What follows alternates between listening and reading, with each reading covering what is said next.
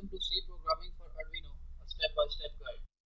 In previous videos, we have discussed about pointers and the rules which you follow when using pointers. Now, we will discuss some more rules in order to use pointers effectively. In relational tests, you use following operators between operands. Relational tests on pointers are acceptable only when both operands are pointers. This is the example. These are the operands which are pointer variables. This is the relational operator. If this statement is true, then this statement body is executed. Now consider this example. This form is not acceptable as the relational test is against a constant rather than a pointer. It must also be noted that pointer comparison must be between pointers to the same data. This is the example. You can see that these pointer operands have same data specifier. Both these variables point to the character data type. So this test is valid. Now consider this code. This expression is not acceptable as both pointers have different data specifiers. Pointers do not have to point to a single variable. They can also point at cells of an array. When we add to a pointer such as p plus 1, we do not literally add 1 to the pointer address. Instead, we add 1 to the address to the pointer. Consider the following code. In this line, we have defined a pointer named ip with an integer specifier which means that its scalar is 2 bytes.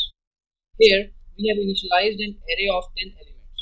This is A0, this is A1, this is A2, this is A3, and this is A4, and so on. Remember, arrays are zero based, so A0 is the first cell. In memory, arrays are stored like this. Let's suppose that the address of A0 is 2200. These are the addresses of other elements. Here, address of operator is used to fetch address of fourth element of array. After fetching the address, it is stored in variable ip. The value of variable ip now becomes 2203, which means that pointer ip is pointing at the fourth cell of the array. If we use IP with an indirection operator, then IP points to the value of A3. Once we have a pointer pointing to an array, we can start pointer arithmetic. Start by adding 1 to IP like this. It gives a pointer to the cell on further on, which is in this case is a A4 value.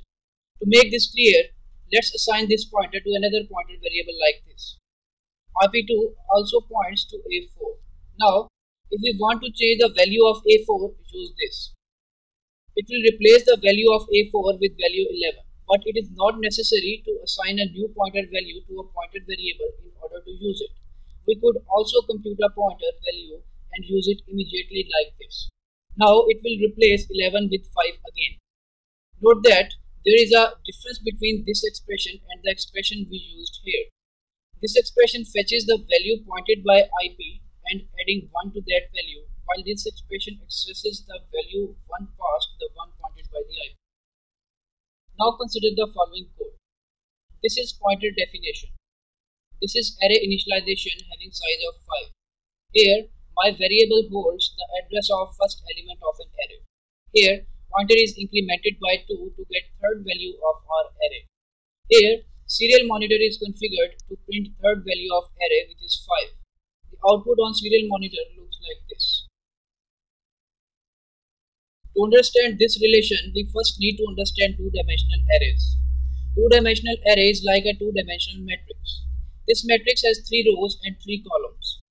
This array can be defined in C like this.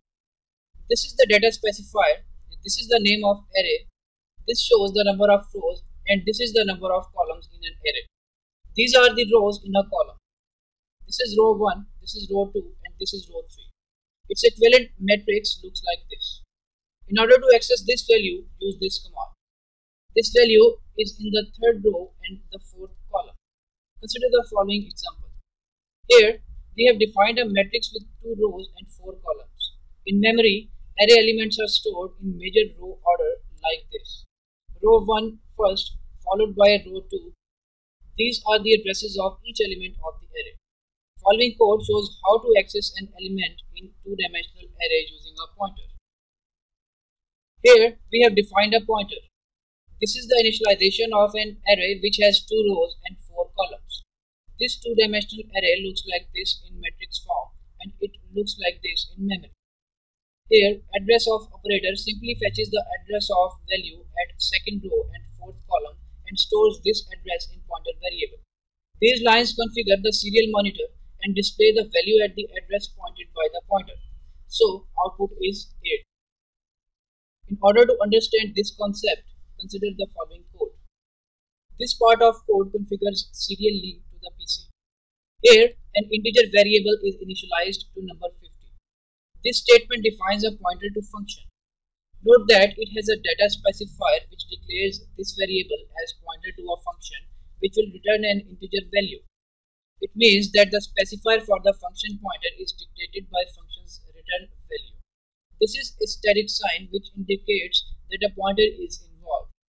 This line simply states that func pointer is a pointer to a function which has a single integer argument and returns an integer data type. If function did not have an argument, then the declaration would change like this. This statement copies the L value of function display value into the variable pointer. This statement calls the function display value by using function pointer, passing the value number to the function.